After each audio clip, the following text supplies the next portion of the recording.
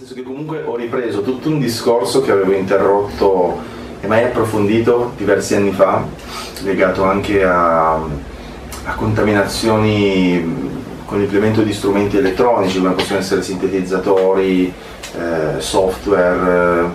eh, eccetera. No? E questo mi ha in qualche modo dato un, un sacco di linfa vitale per nuove idee nuove, nuovi progetti, nuovi gruppi anche. In più continuo sempre quella che è la strada principale con il mio strumento che è ovviamente il pianoforte che non ho intenzione di abbandonare, anzi cioè, di proseguire e di eh, sviluppare sempre di più. Perciò adesso proprio in questi giorni devo,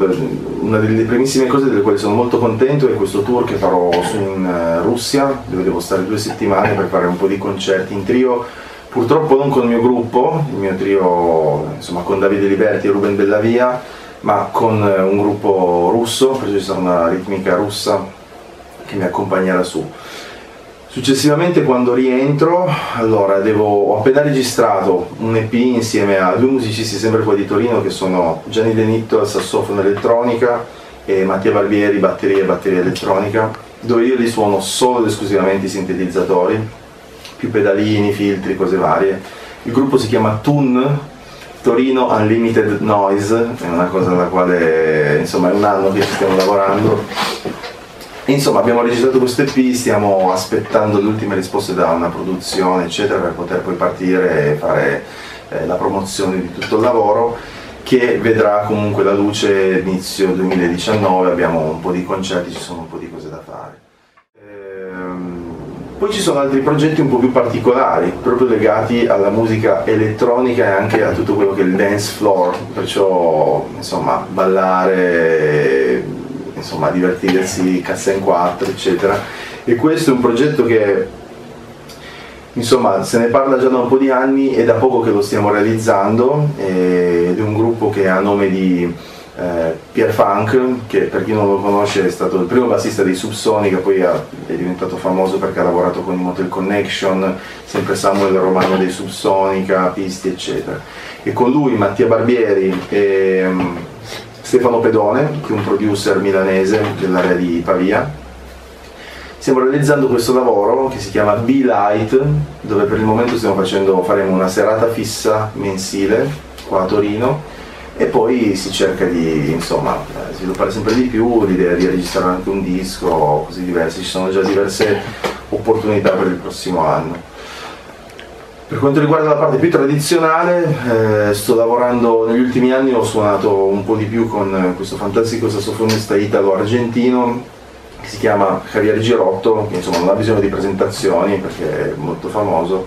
e c'è l'idea di insomma, registrare un lavoro in duo o forse in trio con un percussionista e se avviene, stiamo definendo un attimo le ultime cose a livello burocratico perché lui è impegnato con un'altra etichetta discografica che comunque lo vincola,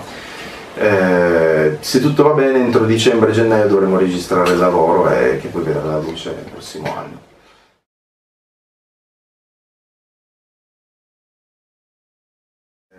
Prossimo passaggio non lo so, guarda, questa cosa di sintetizzatore ad esempio non l'avevo più,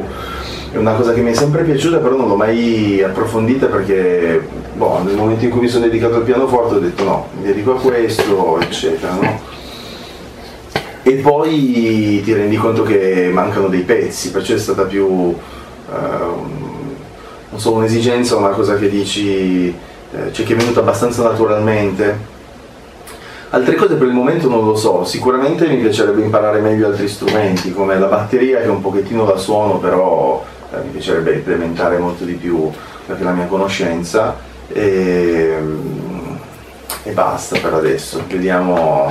c'è una cosa che mi interessa molto che è la composizione, sto scrivendo parecchio anche per organici più, più ampi ultimamente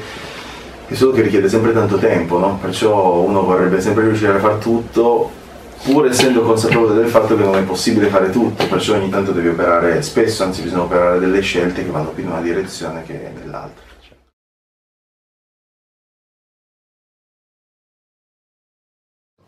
È una parola che vuol dire tantissime cose, per me ha sempre solito, lo stesso significato che aveva anni fa, cioè libertà. senso la possibilità di poter esprimere quello che è il tuo gusto personale, il tuo stile, quelle che sono le tue influenze, la tua eh, idea di comunicazione attraverso un linguaggio che è bene o male codificato, che però ti permette di manipolarlo e di mm, svilupparlo, di espanderlo ulteriormente con tutte quelle che sono le idee, influenze e cose che senti nella tua quotidianità. Ed è questo che ti consente di andare avanti e svilupparsi così eh, radicalmente, poco per volta, sempre in tutte le parti del mondo e mm, insomma di crescere sempre di più. No? Cioè, siamo partiti agli inizi del Novecento con un jazz che era una musica eh, di intrattenimento o comunque una cosa che con mille influenze e origini diverse eh, è diventato qualcosa che è molto ricercato, estremamente ricercato e, e raffinato, no? In tutte le sue espressioni diverse, cioè da quelle più tradizionali a quelle più avanguarda, quelle più concettuali, quelle più eh, diciamo, alla portata di tutti, insomma, beh, direi che una sfaccettatura offre un sacco di sfaccettature diverse di quella che è la popolazione umana, o comunque le varie differenze che ci sono tra le popolazioni, razze, tutto quello che vogliamo, no? e, e, allo stesso tempo però le accomuna in qualche modo, perciò è, so, è un'idea molto profonda ma allo stesso tempo anche molto tangibile, terra terra. Eh, per me un riveste un po' questa cosa, questo senso di libertà di espressione.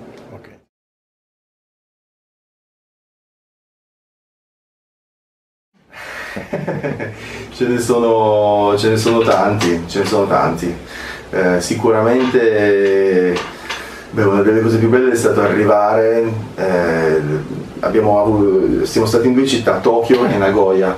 La, la prima città nella quale siamo arrivati è stata Nagoya proprio e la cosa più bella è stata arrivare in città, questa persona ce l'ha portato lì e vedere che nessuno parla inglese, neanche alla reception dell'hotel. Cioè tu non hai idea di come comunicare perché le scritte sono tutte in giapponese, le persone parlano solo giapponese, a Tokyo qualcuno che, trovo che parla inglese lo troviamo e perciò è un casino. Eh, allora mi ricordo che la prima sera che eravamo in giro, eravamo da soli, siamo andati a farci un giro, cercavamo un ristorante dove poter mangiare, no? Però già capire un ristorante, quale fosse il ristorante rispetto a un altro negozio, ok, va bene. E poi per ordinare i piatti era tutto basato su guardare le figure e i disegni che c'erano sul menù, indicare quelli e sperare che, che fossero una cosa che corrispondesse a quella che era la figura, no? Altrimenti non, non sapevi come, fare. E quello è stato bello. E c'è stato sempre la prima sera il proprietario di questo locale che non so perché eh, siamo finiti a parlare di sake parlare, ovviamente cioè, ognuno diceva le, le, proprie cose senza capirsi assolutamente. E lui ci ha spiegato tutto il procedimento di come fanno il sake disegnandocelo su un foglio perché lui era un sommelier insomma cioè, tra una cosa e l'altra ci ha spiegato il procedimento del sake della produzione del sake disegnandoci tutto quanto però eh, quella è stata una cosa carina.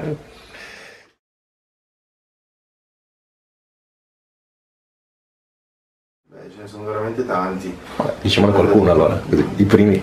Sicuramente Enrico Zanisi pianista romano giovane fantastico